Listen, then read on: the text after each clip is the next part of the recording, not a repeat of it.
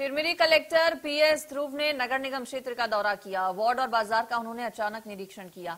मौके पर मिली अव्यवस्थाओं को देख कलेक्टर ने एसईसीएल और निगम के अधिकारियों को जोरदार फटकार लगाई। गंदगी और अधूरे काम को जल्द से जल्द पूरा करने के निर्देश दिए। इस दौरान कलेक्टर ने जनता से सीधे बात भी की।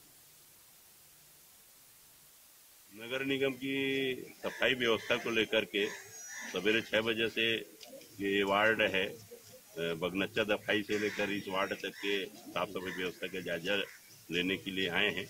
और यहाँ पर जो सब्ज़ी मार्केट है, उसके बगल में ही एसी सेल का हॉस्पिटल है। उसका निरीक्षण किया गया, हॉस्पिटल पर जाने वाली रोड का निरीक्षण किया गया और एसी सेल प्रबंधक का जो जनरल मैनेजर है, उसको निर्देश दिए गए हैं कि जो अपने निगम क्षेत्र के बाद जो एसी का रोड जो हॉस्पिटल को जाता है, वहाँ तुरंत काम चालू करे और वहाँ जो पार्क की जो व्यवस्था खराब है उसको दुरुस्त करे, पानी लीकेज है उसको ठीक करे, वहाँ वाटर एटीएम जो मशीन लगे है उसका सप्लाई ठीक से प्रारंभ करे ताकि लोगों को, आमजन को जो सुविधा